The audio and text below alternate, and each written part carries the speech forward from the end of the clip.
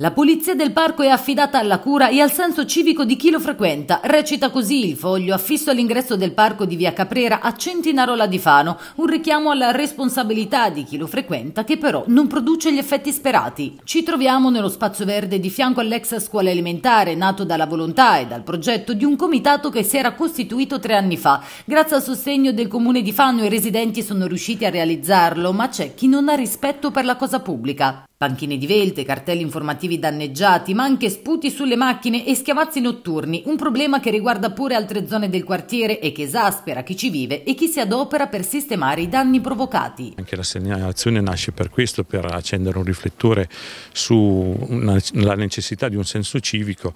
C'è gran parte dei frequentatori che lo rispettano, chi viene a fare ginnastica, chi a giocare bambini, anziani, però c'è sempre il gruppettino che no, vuole esagerare fare e diciamo che con il gesto di un minuto distrugge il lavoro di anni, di progettazione di anni, quindi una richiesta a tutte le persone che vivono il quartiere di frequentare il, il parco stesso perché frequentandolo già lo si protegge e allo stesso tempo diventare tutti tra virgolette un po' poliziotti, non avere sempre la necessità di chiamare le forze dell'ordine, dare un occhio e, e valorizzare questi posti rendendoli sempre più vivi. Questi episodi devono finire, si legge in uno dei messaggi arrivati alla nostra redazione. Il luogo è per tutti ma ha delle regole che vanno rispettate, altrimenti saremo costretti a malincuore a prendere dei provvedimenti come togliere definitivamente il tavolo. E loro sono solo alcune delle persone che puliscono il parco e riparano quanto rotto e poi ci sono i bambini che lo abbelliscono con creazioni del tutto particolari.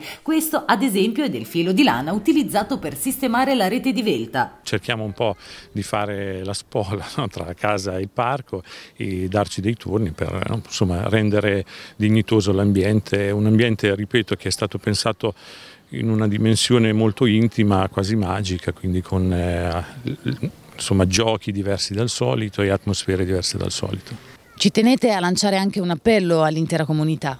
Sì, esatto, abbiamo fatto la segnalazione proprio per questo scopo, per lanciare un appello oltre che ai genitori dei ragazzini che, che vengono qua, anche alle forze dell'ordine che vengono a controllare, ma anche proprio al senso civico e alla responsabilità di tutti, perché è un posto pensato per tutti, per il benessere di tutti e quindi ehm, vale la pena proprio valorizzarlo anche.